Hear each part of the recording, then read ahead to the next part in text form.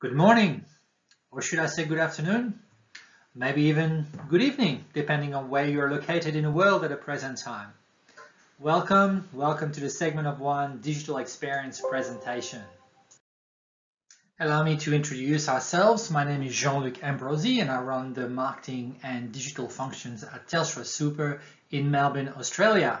And our co-presenter today is Esme Eterovic and Esme is the head of digital at Telstra Super, and we're very pleased to present to you today. We would like to show you in this presentation how we have built the strategy and developed the framework, and overall how we have attempted to deliver a deeper member experience. To start with, let me provide you with a little bit of background on the industry. Superannuation, the equivalent of 401k in the USA, suffers from very low engagement from members across the board. The other challenge that the industry faces a lot of members do not really understand superannuation and the different components of superannuation and financial literacy is not as high as we would like. What happens on top of that is that there's a lot of changes in regulation. So the system tends to change very often, almost on a yearly basis. So that gives you almost the perfect storm, which makes that members tend not only to be disengaged, but often lack trust in the system as the system keeps changing year on year. So how did we go about solving the problem? The problem being, how do you engage members? How do you help them achieve financial success in retirement? Well, we had to define digital as the primary channel of communication for members. That was the first thing. But the second thing, and where we had to create a strategic bet in a way, was really to say that personalization was going to be at the center of the relationship with members. In the age of the customers, personalization was going to be our big bet. But before we started with uh, the digital ecosystem and personalization, there was a number of things we needed to do. The first one was to upgrade our brand. Our brand was built for paper and we needed a brand that was built for digital. So we changed the brand look and feel, we changed the way the brand appeared, we changed the energy that the brand, was going to convey to our members and ensuring that that brand would work in all the different digital space that we could encounter, whether it's website, social media, and so on. The second thing then that we did was really to work on our segmentation model and develop a very deep understanding of our members. And that segmentation models is multi-layered and that segmentation models also include additional data that we can use to refine uh, the targeting. Building the digital ecosystem, of course, was a key component and a big, maybe the biggest component from a people and dollar value. And it was critical to build this ecosystem uh, for today, but also for tomorrow, making sure that the ecosystem we were going to build uh, could evolve over time. Because as we understood today's issues, we do not understand tomorrow's issues. And the last component was to take a, an approach to targeting and to say, how do we want to engage with our members? How do we want to talk to them? How do we want them to talk to us? And really use the segmentation, use the data, and use the digital ecosystem to really uh, assist us in developing an approach to member, really targeting them, providing relevant information, relevant content, and relevant nudges.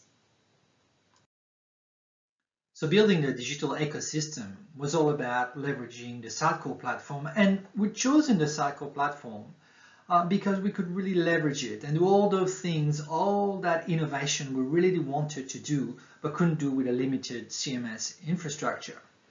That allowed us to look and develop different components um, from rebuilding the UX, the entire member experience, and critically uh, rewriting all the content and rewriting the content to match the new experience we wanted members to have with our fund. and our digital infrastructure.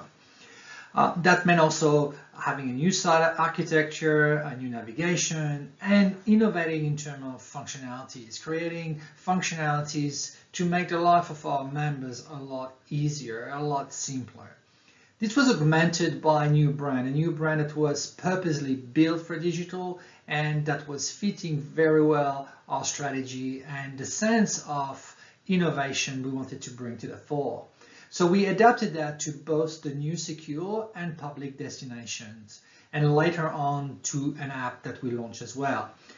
Uh, in terms of personalization, the ability to integrate uh, the segmentation into the Sitecore platform was absolutely essential for us in order to de um, deliver personalized experience at different levels and for different types of members.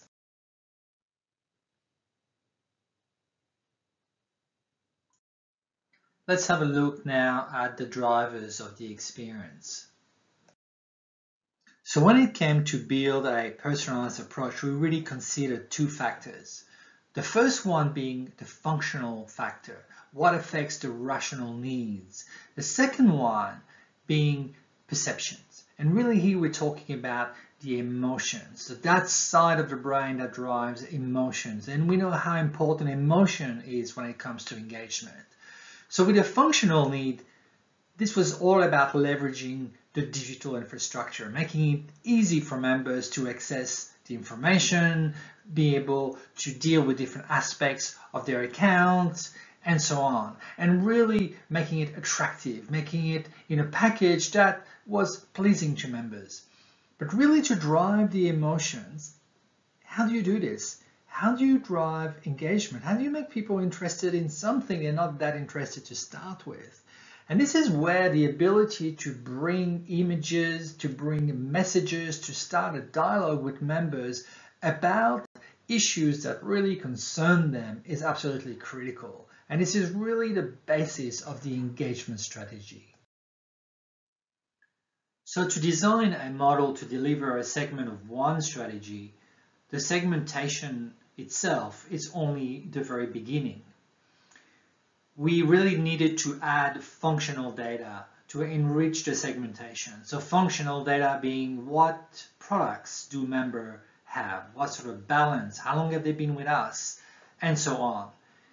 If on top of that, uh, we could add the behavioral data. So what are members doing? Um, are they opening our emails? What pages do they visit on the website? What sort of campaigns or messages do they respond to? Do they have a relationship with uh, financial advisors? That suddenly starts giving you a lot of data that you can add. So between the segmentation, the functional data, and the behavioral data, you start having thousands of variables that really can drive very personalized development, very personalized messages, very personalized interaction and give you those one-to-one -one insight, that tailored content allows you to build those targeted campaigns. But really critically for us, we can have a relationship with a member for 50 years. So we really need to look at that targeted content and the evolution of that targeted content over a period of time in order to start a conversation that could last a very, very long time. So let's look at an example of a personalized experience. Here we've put two different types of member, a young, non-engaged members, and a retiree, very engaged with his pension fund. So in this instance, what you can see is that for each of those members, we have all the data sets that allow us to understand the members. That's data set you see on top of the two members. So these comprise what we talked about before, the segment, the subsegment, the functional data, and the behavioral data. This gives us insights um, and gives us the ability to provide different types of information and nudges that belong and are that are adequate and relevant to those two very different members. Then on the very top, what you see are the mechanism we have at our disposal to do this. So in particular, we look at content, whether content is on the website on the newsletter we provide or outbound communications, promotions like campaigns, uh, different type of activity we can do with members, critically insights and the ability to provide insight through different mechanisms and finally uh, out of insight you might want also to do nudging and use digital mechanisms in particular to drive that nudging. And what we do here is no matter what channel we use, we will use the same methodology. methodology. So we can reinforce message, we can reinforce uh, the insights we want to provide to the members to drive uh, change, to drive the right behavior. And this over a period of time. So we spoke a lot about data. And if I can summarize in one sentence the segment of one strategy and the use of the data and the use and the leveraging of the digital ecosystem, this is all about creating relevance. Relevance for members, relevance allowing us to provide them with information, messages, education, nudging that will be attractive to them, that will allow them to take action, that will allow them to be empowered to manage their retirement outcome. And at the end of the day, ensuring that our value proposition is attractive to them. And there's a reason for them, both a rational and emotional reason for them to get engaged with this part of their life. So I want to touch quickly on how we use um, the data on, on the website. So we've built a custom uh, member information hub or data mart if you want. And what we do with this data mart is we provide custom data. We provide data that we send to uh, enrich the Sitecore data, which is in some form limited. So that really enriches and provide a lot more scope to drive personalization and then also to drive automation based on defined triggers. And that's really what creates that tailored member experience. So the ability to enrich the Sitecore data with the different data sets that we have on the member information hub is really the key here. Thank you very much, Jean-Luc. I'm Esme Eterovic and I'm going to take you through the second part of today's presentation where we speak a bit about how we operationalise this segment of one and brought personalisation to our members and also some of the results that we're seeing. It was important for us when operationalizing personalization and starting to implement our segment of one that it wasn't just seen as a function of the digital team to utilize Sitecore for, but rather that it was seen uh, for the wider marketing and digital unit, and also that the, the rest of the business understood the value of it and understood what we were hoping to achieve.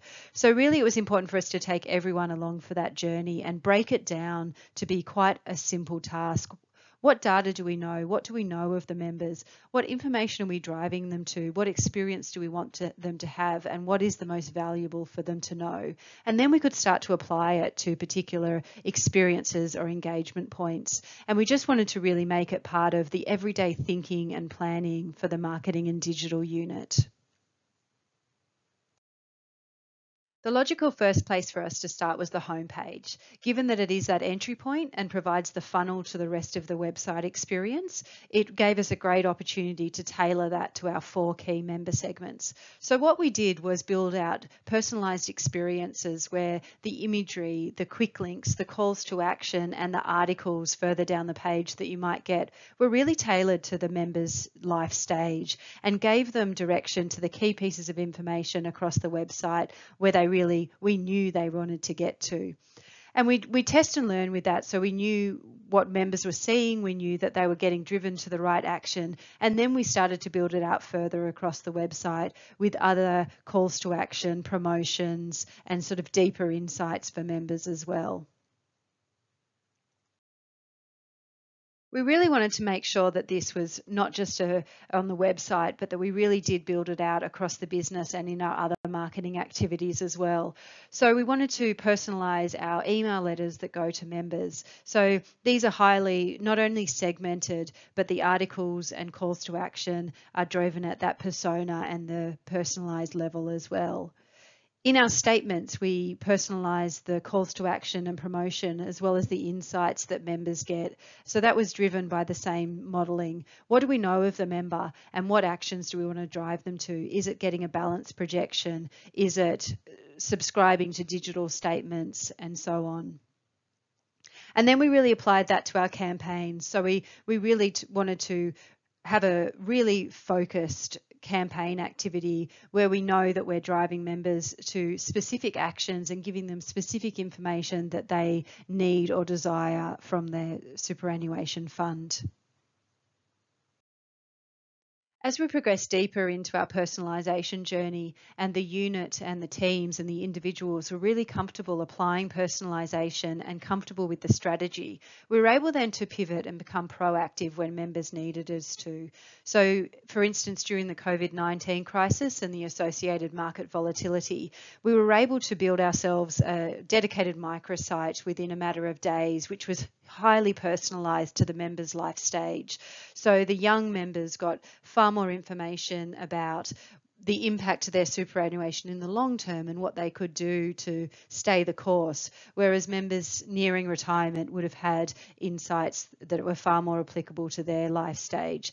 It applied not only to the content that we gave to them, but the, the videos and the insights and information and calls to action that we provided to them. And again, it was integrated across all of the associated marketing activities of the wider unit.